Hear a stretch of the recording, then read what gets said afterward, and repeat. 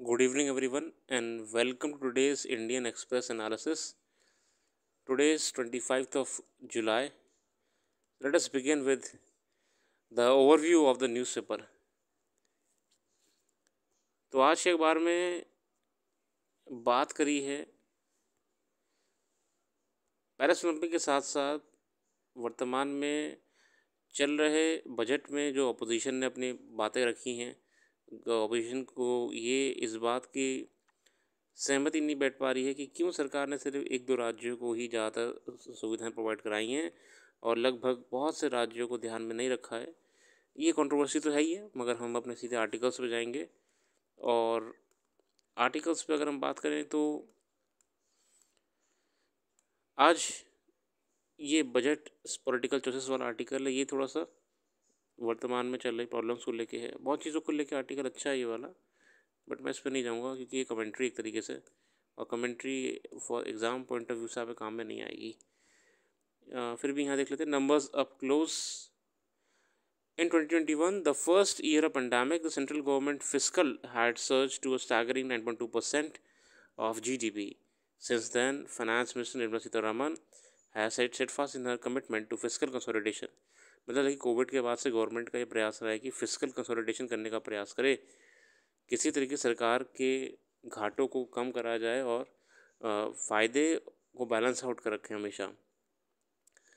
While at the same time managing to ramp up the allocation of capital expenditure but twenty three twenty four Sitharaman had manage to bring down the deficit to five point six percent और देखिए सरकार ने घाटों कम कर भी दिया है। 5.6 percent पे ले आई है the latest budget she has continued on that path targeting a further reduction to 4.9 percent in this year ठीक है the budget has pegged gross tax to grow at 10.8 percent this is in line with the 10.5 percent nominal GDP growth it has assumed but this implies a tax buoyancy of 1, which is considerably lower than what was witnessed last year. Under the broad rubric of gross taxes, the budget has projected direct tax to grow at a faster pace than indirect tax, and within direct tax, personal income taxes to outpace corporate taxes. In fact, collections from personal income taxes which were earlier lower than the corporate taxes are now considerably high मतलब देखिए personal income tax से ज़्यादा सरकार revenue earn करने वाली है compare to corporate taxes से alongside the governor government's non tax revenue is up driven by a higher, higher transfer from the RBI and the receipts from other communication services. On the expenditure side, the budget has pegged this interest spending to grow at 8.5% this year, less than the growth assumed for the year. However, capital spending is expected to continue to outpace revenue expenditure. The capex to GDP ratio has been maintained at 3.4% with the Ministry of Road Transport and Highway and Railway garnering a sizable share of this allocation. alongside the government subsidies bill on food, fertilizer, petroleum and others, is expected to decline further. मतलब government जो है आपका, वही budget में हर चीज़ को ध्यान रखा गया है। प्रयास तो यही कर रहे हैं कि हम फ़िज़िकल कंसोलिडेशन रखें by reducing the deficit ensuring stability reducing deficit ensuring stability the capex of gdp ratio has been maintained at 3.4% 3.4% with the ministry of road and transport and highways road and transport and highways Allocations towards subsidies had packed at 3.82% in the 2021. The medium-term fiscal policy cum fiscal policy strategy statement accompanying the budget has not provided the rolling targets for the next two years as was the practice in the past. और बहुत सारी बातें हैं। बाकी का article Delhi high court और Delhi right case को लेके है। हेट क्राइम को लेके आप पढ़ लीजिए, कुछ खास मुझे लगा नहीं इसमें। ठीक है आर्टिकल ने कुछ पुलिस एक्सेस को को हाईलाइट करा है।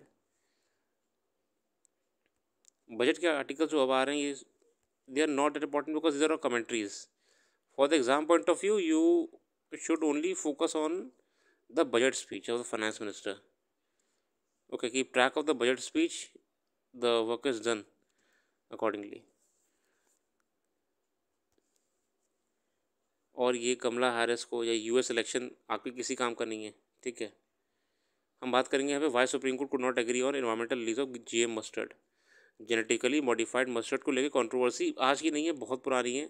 इवन जेनेटिकली मॉडिफाइड जो फ़ूड क्रॉप्स हैं, उनके लॉन्च को लेके विरोध रहा है फ़ार्मिंग कम्युनिटीज़ में भी खासकर। देखते क्या है। टू जज bench of Supreme Court on Tuesday delivered a split verdict on whether to allow the environmental release of genetically modified mustard ठीक है। Justice B.V. Nagaratta and Sanjay Karol disagreed on whether the approval given by Genetic Engineering Appraisal Committee (GEAC), the body responsible for देखिए भारत में ना ये GM जो है genetically modified crop इसकी ना अथॉरिटी कौन है जी ई ए सी मतलब जी E A C he final approval देती है कि कोई फला क्रॉप है इसको मार्केट में उतारा जाए या नहीं उतारा जाए ठीक है ना याद रखना ये वाली बात जी ई ए सी ठीक है This was the GEAC second major push to introduce GM mustard as the first GM crop that is meant for human consumption. ठीक है ना बीटी कॉटन जैसे bacillus thuringiensis is the only GM crop that has been approve by cultivation India और इससे पहले ना BT cotton जो है वो हमारे बाहर हो चुकी है रिलीज़ अलाउ परमिशन ले चुकी है a split decision is delivered the case is referred to chief justice of india for placing before judges of larger bench however both judges directed to union of india to evolve a national policy with regard to GM crops bench ने ये कहा था कि भैया आप एक national policy तैयार करिए जीएम क्रॉप्स को लेके। अब इसी कहानी क्या है जीएम के मस्टर्ड की? कहानी भी जान लेते हैं। मस्टर्ड क्या है? Mustard flower it contain both female and male female मतलब पिस्टल मेल मतलब stamen reproductive organ which make the plant largely self pollinating ठीक है? The G M mustard developed by the D U scientist contains two alien genes The first Barnase gene interferes with the pollen production and renders the plant male sterile, and the resulting plant is crossed with the fertile mustard flowers containing the second Baster gene, which blocks the action of the Barnase gene. The resulting plants are meant to be high yield variety and variants of mustard. मतलब ये high yield variety है mustard की, ठीक है ना? अच्छा production देगी climate resilient होगी मौसम की मार को भी झेल के आगे चल सकती है। Along with proposal G C G M C P submitted biosafety dossier and the G E A C created subordinate committee to examine its contents तो मतलब ये जी ई ए सी ने पूरा इसका सर्व कर रखा है डिटेल डिटेल वगैरह रेडी इससे कोई नुकसान नहीं होगा। केस सुप्रीम कोर्ट में क्या पहुँच गया है? Environmentalist Aruna Rodrigues and research and advocacy organization gene campaign अब जीन कैंपेन नाम की संस्था है, ये पहुँच गई अरुणा जी के साथ सुप्रीम कोर्ट। सुप्रीम कोर्ट ने क्या कहा? In split decision disagreed on two key aspects पहला whether the G E A C decision making process was legal and second whether it violated the precautionary principle for scientific innovations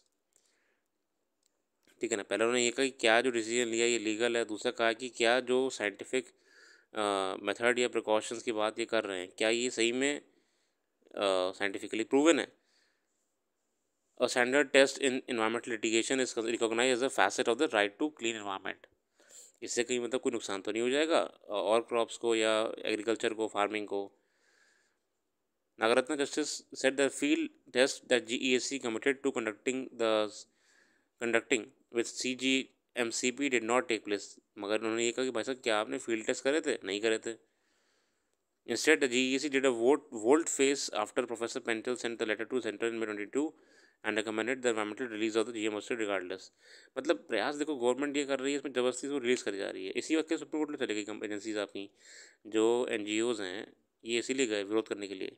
ऐसे कैसे आप कर देंगे? बिना कोई जाँच के, बिना कोई टेस्ट की आप उसे रिलीज़ करना चाह रहे हो।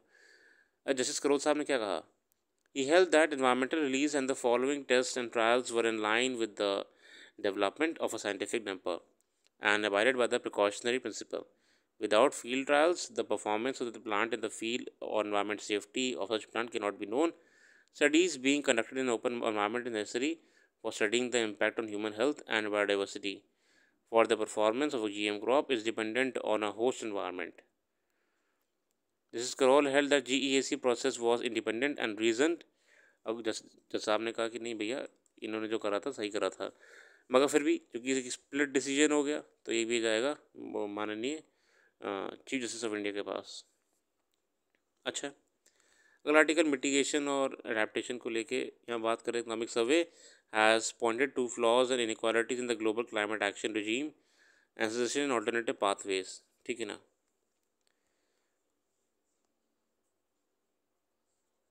ये सब स्मार्ट सिटी और अर्बन प्लानिंग को लेके है। कुछ खास नहीं है, मैं पुरानी वीडियो में इसके बारे में बात कर चुका हूँ, इन मुद्दों के बारे में। Increasing resilience in the essence of economic survey's argument is that adaptation should get at least much importance as mitigation. मतलब मिटिगेशन के साथ हमको अडेप्टेशन भी देना चाहिए ना। More so because the impacts of climate change are already unfolding and it is becoming increasingly clear that the 1.5 degree target will be reach very soon है ना, हमें अडेप्टेशन पे भी ध्यान देना है। It is important to understand that while there is a near consensus in scientific community that the frequency and intensity of climate impact increase with the rising temperature The 1.5 or 2 degree thresholds are chosen arbitrarily. They are not natural thresholds for climate change वही सब इसमें बातें करें article में। Approach क्या बताइए? The economic survey criticism of the establish order on climate change needs to be followed while building its infrastructure india could make it among the most climate resilient in the world but is not seem to be happening अब देखिए हम लगता दिख तो रहा नहीं हमें कोई ये कोई क्लाइमेट फ्रेंडली इंफ्रा काम कर रहे हैं Central Vista, for example, will be a huge improvement over the current set of buildings in the Central Secretariat complex, but it remains to be seen if it will be the best model for future such buildings.